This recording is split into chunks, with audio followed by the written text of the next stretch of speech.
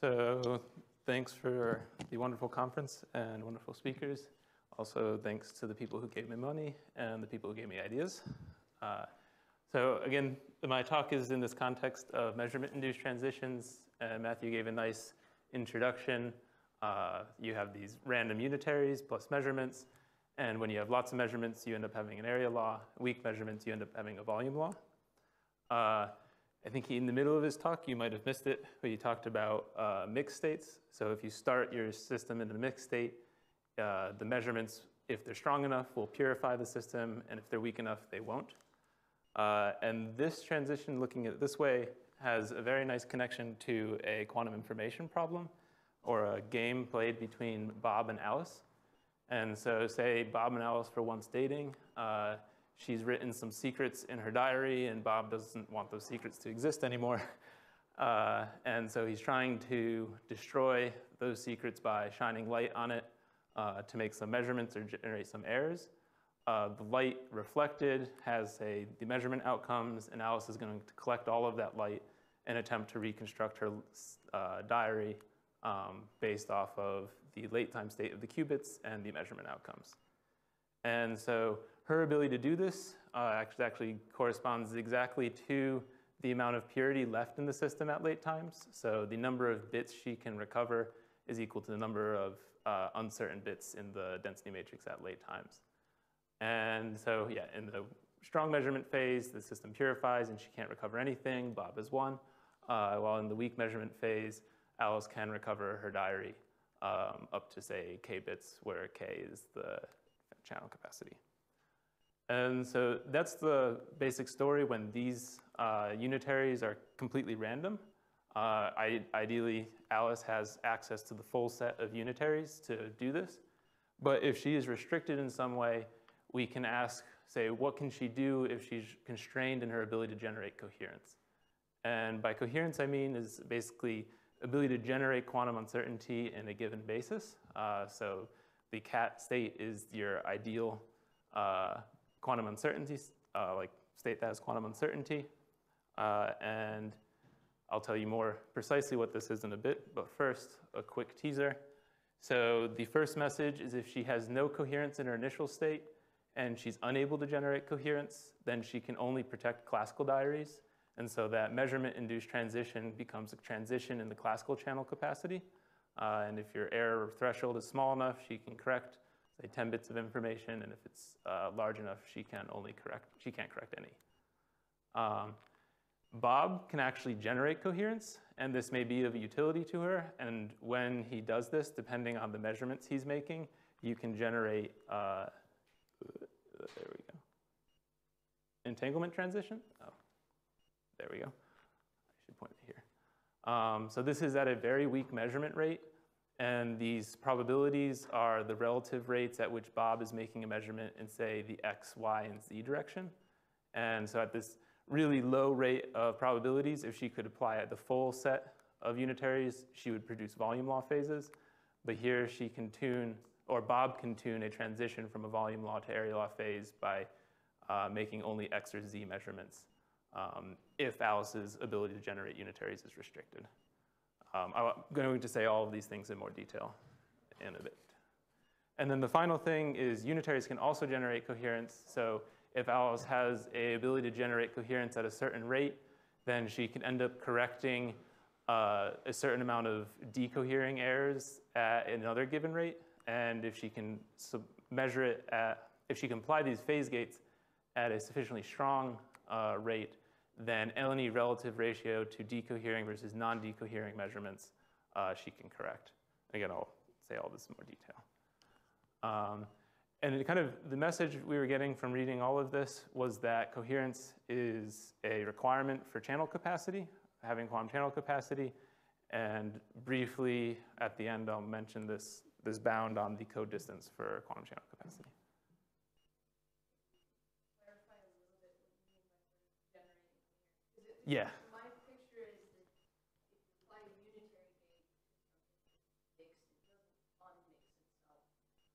Yes. Yeah, yeah, yeah, I'll, I'll say it. Uh, for, for all of this, I'm starting in pure states. Uh, and the coherence is, in a, is a basis-specific quantity. So actually, I think I say this next. So the, the way I'm considering coherence is trying to quantify how much you are in a cat state, or this is the like a brief picture. Um, so you can have two ways you're uncertain about the cat's life. Uh, one is a complete mixed state, uh, and here you're completely uncertain about which physical state the cat is in. Um, while here you know perfectly the physical state, but you still don't know whether the, state, the cat is alive or dead. Uh, and the important kind of numerical quantity here is that this one has off-diagonal terms while this one has diagonal terms. And important is that this density matrix only has off-diagonal terms in a given basis. So the amount of coherence or amount of quantum uncertainty you have in a given state is something that is basis specific. Uh, so this is why a unitary could generate or not generate coherence um, based off of how it acts in a given basis. Um, and so actually the way the quantifier I'll use for uh, coherence is coming from the resource theory of coherence, uh, similar to this uh, resource theory of entanglement where you can define this relative entropy quantifier of entanglement.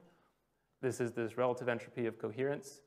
Uh, it's defined based off of these uh, projectors into your given basis state.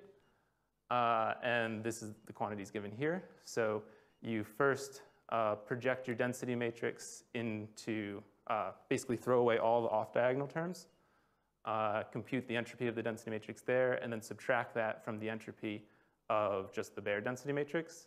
And so your coherence is your uncertainty about which basis state you're in minus the uncertainty about which pure state you're in. And so there's somehow a pigeonhole principle here. If you have n bits of basis state uncertainty and n less than n bits of pure state uncertainty, you can only quantify how much you're uncertain about that basis. Um, you're, you're kind of restricted in how you can assign that basis uncertainty to the pure states.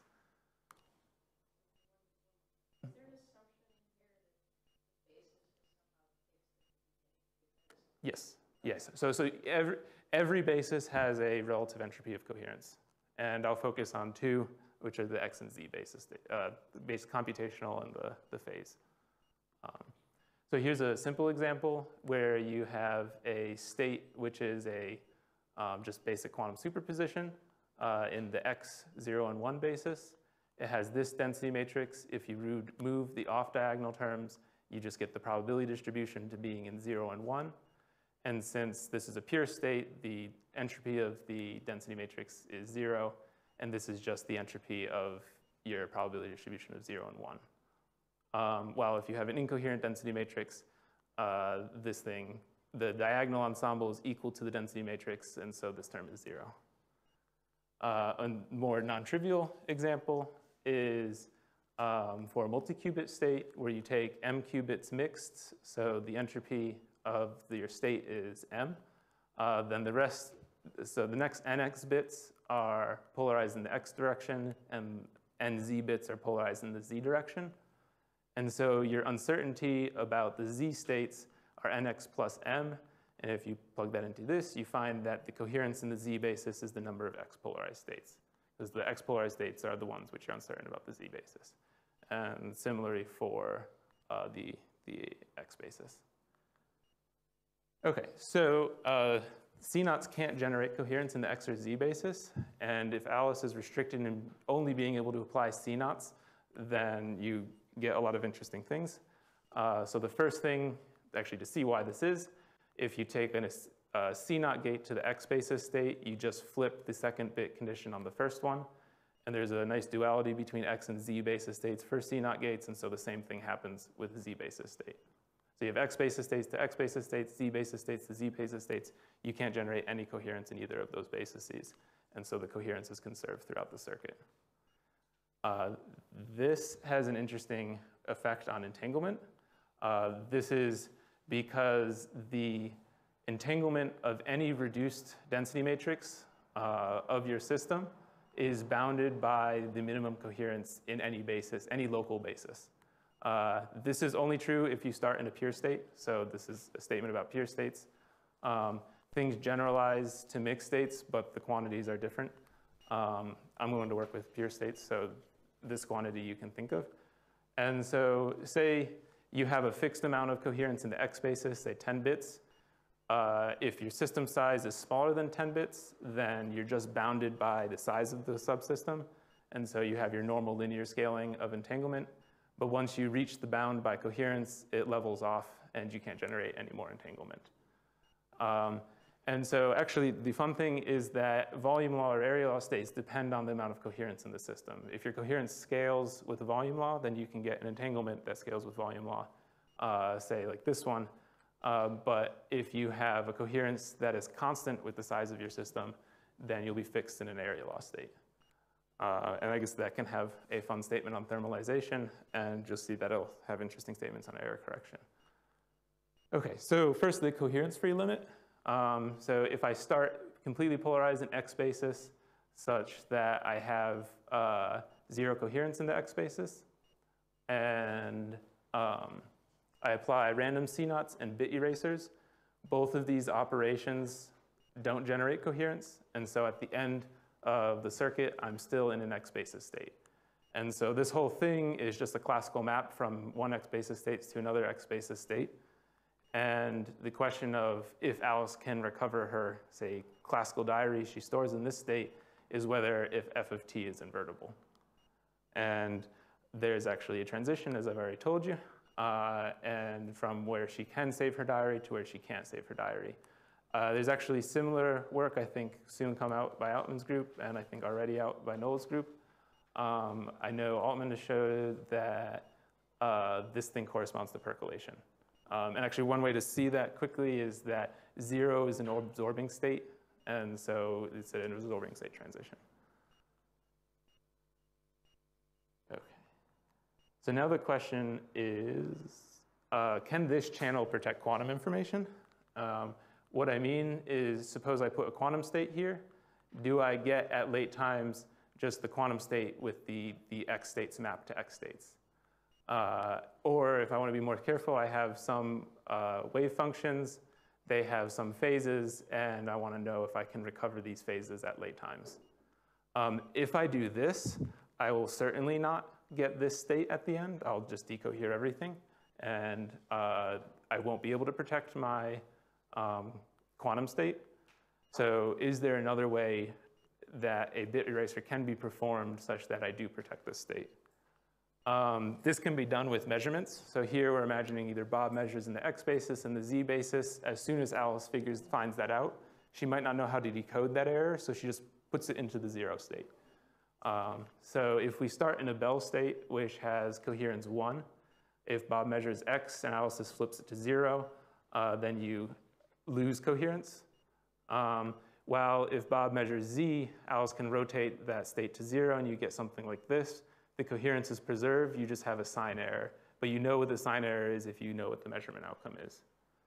And so if you have a state like this, um, if you destroy coherence, you'll lose the phases. If not, you'll have the phases up to some sign errors, but you know what those sign errors are, and so you can correct the, the quantum state. Uh, and so as long as your classical channel is reversible, your quantum channel will be reversible. And that's what you show. Actually, the quantum channel capacity, roughly defined as the purity on that first slide or second slide, um, ends up being the same as the classical channel capacity. Uh, and the, really the important thing is that these bit erasers must preserve coherence. If you don't preserve coherence, you destroy the phases immediately. Uh, and so this means Bob has to be restricted in the basis he can measure. If Bob has full freedom in what basis he can measure, then this is not going to be, these CNOTs aren't going to be a good way to protect quantum information. Um, and so now we want to find out how to turn this classical channel quantum. Uh, basically, what can Alice do to make a quantum channel, uh, protect a quantum diary? And so there's a few lessons we can take from quantum error correction. Uh, there, this actually same problem occurs. So if you have some classical code, you know it can protect bit flip errors, but it can't correct phase flip errors. And so they ask the same question, how do I uh, um, protect a quantum, quantum diary or protect a quantum, quantum information? And so the kind of the first answer is the CSS codes. Um, I'm just quickly saying this. I won't be able to say too much about how this works in this setup. Um, but essentially they're ways of constructing quantum codes from two compatible classical codes. And so we're going to ask, uh, is there something similar Alice can do to turn a classical channel quantum? Um, I won't really be able to tell you exactly how this works, but I'll have one quick slide on that. Um, so first, we're just going to focus on entanglement and coherence dynamics. So now that we're going to potentially have coherence in the system, we'll also be able to have entanglement, and I just want to remind you that coherence is bounding entanglement. And so if Alice wants to save her diary, we need to have volume law entanglement and volume law coherence. So now I'm going to add to my circuit these x and z measurements. Uh, the total measurement rate is fixed at PM.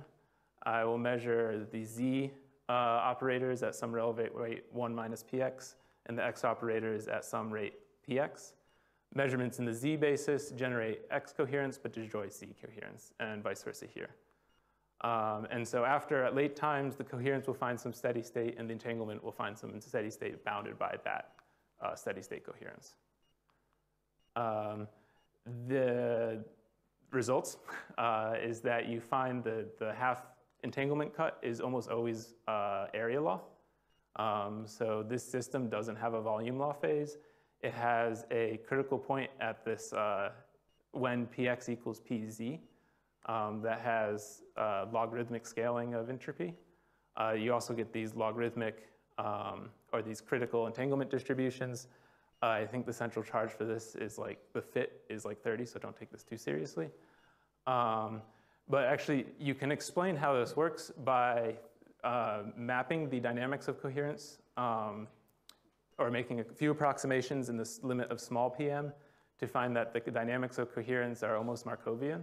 And so you can write down this rate equation, um, which says that the x coherence is either going to maximize or minimize based off of the uh, um, relative rates of x and z measurements. And so if you're mostly measuring x measurements, say on this side, then the x coherence will be completely lost and you'll be unable to find uh, entangled states.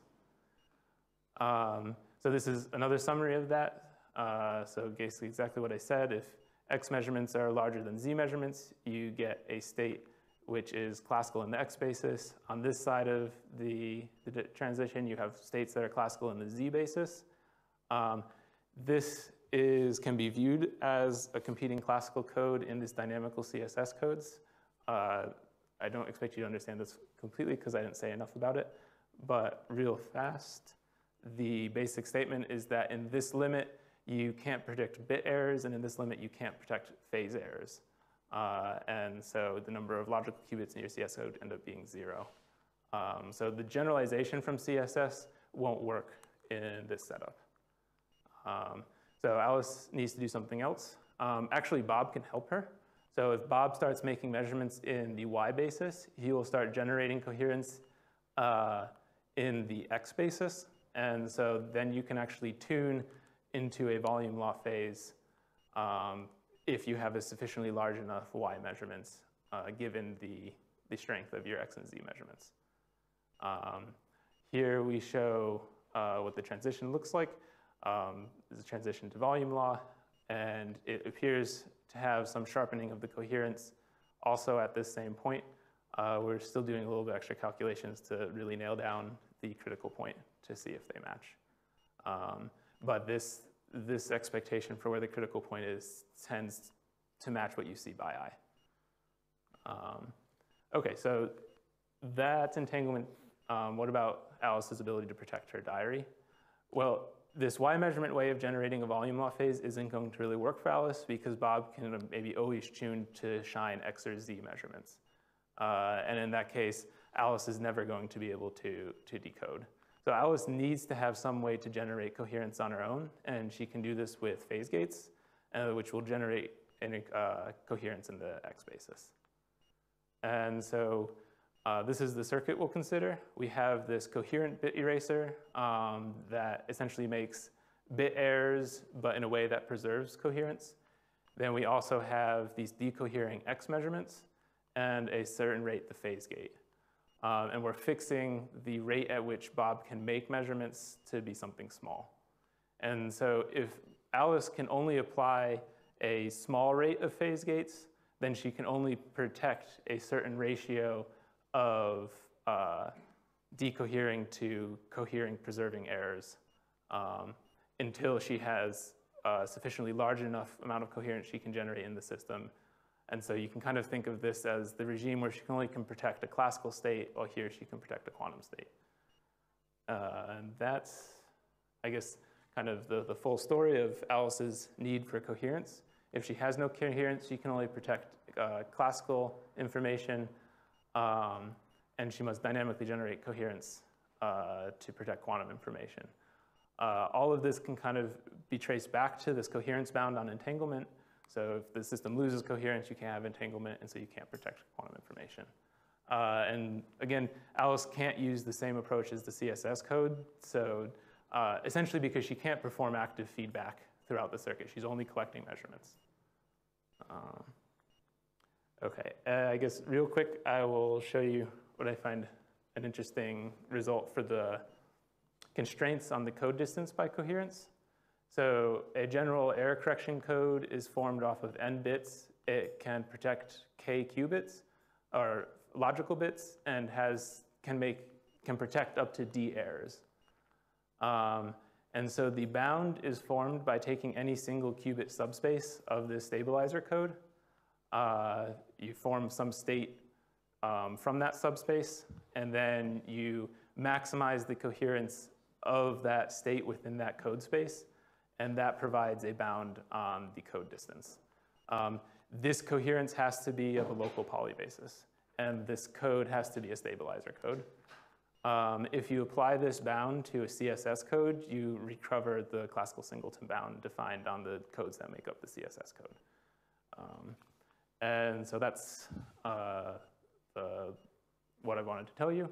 If Alice has no coherence, she can only protect classical diaries. Um, Bob can help her protect and generate entangling phases um, if he makes measurements in the Y basis.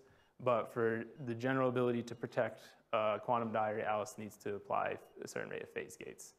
Um, this was all for this Alice Bob game, but uh, there's a more general requirement for quantum error correction that the code distance is kind of bounded by this, this essentially almost minimum coherence. Because you can do it, you can minimize, you can take this maximum over any single qubit subspace, and so if you take the minimum over all single qubit subspaces, you almost get something like the second least coherent state of your subspace, of your code space, uh, is what's giving you the bound on this code distance.